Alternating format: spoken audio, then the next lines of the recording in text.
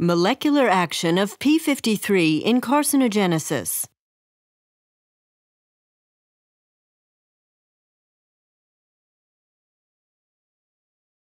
Normal function of P53. P53 is a transcription factor which consists of four subunits. A subunit contains a C-terminal regulatory domain, a tetramerization domain, a DNA binding domain, and an N-terminal transactivation domain. P53 monomers form tetramers via the association of the tetramerization domains. The P53 tetramer binds to P53 consensus sequences in the DNA. Transcription factors bind to the transactivation domain and mediate the transcription of the gene by RNA polymerase II. Deletion of both TP53 alleles. In tumors such as bone and soft tissue sarcomas, both TP53 alleles may be deleted in this case, P53 is no longer synthesized. Consequently, P53 dependent genes are not transcribed. Mutation of one TP53 allele, conformational change of wild type P53, dominant negative mutation, inhibition of DNA binding. In many tumors, one TP53 allele carries a point mutation whereas the second allele is wild type. When mutant p53 monomers associate with wild type monomers, the wild type monomers are forced into a different conformation. Binding to p53 DNA consensus sequences is blocked, and the respective genes are not transcribed.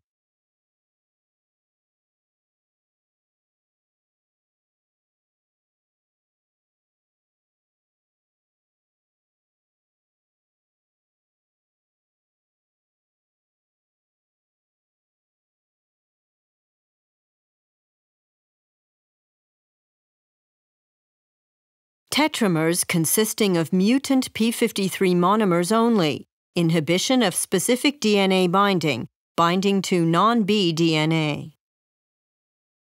In cases where one TP53 allele is mutated and the second allele is wild type, some of the resultant tetramers consist of mutant p53 monomers only. Similarly, mutant only tetramers are present when the wild type allele is deleted mutant-only tetramers cannot bind to p53 consensus sequences in the DNA. Instead, they may interact with non-B DNA, the conformation of which differs from double-stranded DNA.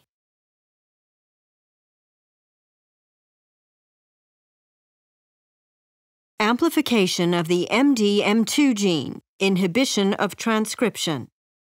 The MDM2 gene is amplified in about one third of human soft tissue sarcomas. The gene product shown in yellow binds to the amino terminal transactivation domain of P53. MDM2 associated with the transactivation domain inhibits the binding of transcription factors to the transactivation domain. In this way, transcription of the target genes is blocked. Amplification of the MDM2 gene, ubiquitination and proteolysis of P53 oligomers.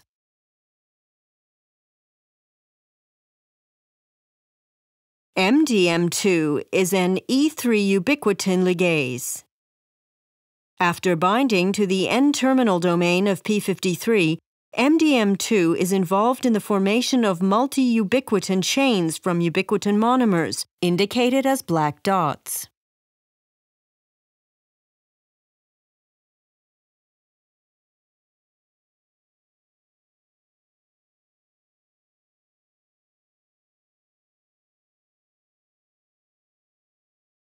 Ubiquitinated P53 is degraded in the proteasome. Infection with human papillomaviruses, ubiquitination and proteolysis of P53 oligomers after association with E6 and E6AP proteins. Some types of human papillomaviruses are causal agents in the formation of cervical carcinomas.